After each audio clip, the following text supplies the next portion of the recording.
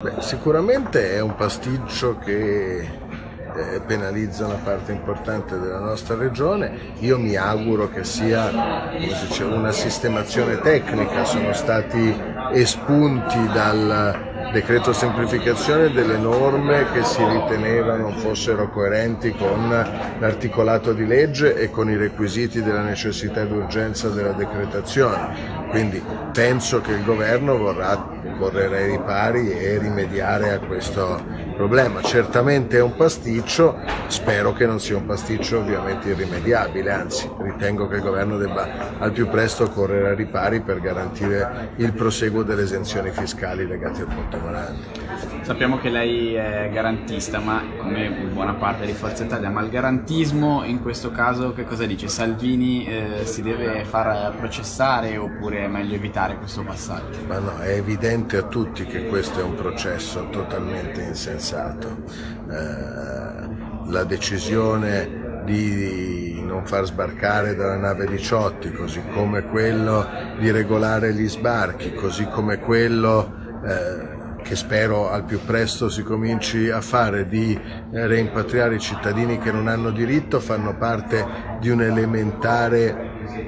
criterio di eguaglianza di fronte alla legge e di regolazione dell'immigrazione che tutti i paesi nel mondo fanno, dagli Stati Uniti all'Australia, al Giappone, al Canada, alla Gran Bretagna. Quindi pensare di processare il Ministro degli Interni per avere non consentito a persone che non avevano titolo di entrare nel nostro paese lo trovo, fosse in lingua italiana, un ossimoro, certamente un'assurdità. Quindi io mi auguro che il Parlamento faccia valere le prerogative della politica in questo caso e dica alla magistratura che non è un tema di cui si deve occupare eh, negando il processo. Dopodiché vedremo cosa farà il Movimento 5 Stelle che in questo ha sempre avuto una visione diversa e forse è bene che qualcuno, anche il governo degli amici della Lega, se ne renda conto, dal decreto buona fede, dalla fine delle prescrizioni a tutto quello che è stato fatto in termini di giustizia in questi, in questi mesi non si concilia con uno Stato di diritto secondo me, ma si concilia anche con la posizione degli amici leghisti nella loro storia. Anche nel centro-destra però sul tema immigrazioni le posizioni sono diverse, Berlusconi ha lasciato intendere che insomma, un'apertura all'ingresso di alcuni migranti non cambierebbe eh, di fatto la situazione italiana. Guarda, il Presidente Berlusconi ha detto una cosa ovviamente di buon senso e anche di umanità, che non cambieranno 50 migranti la storia dell'immigrazione nel nostro Paese e che non faranno la differenza. È certamente vero, com'è certamente vero però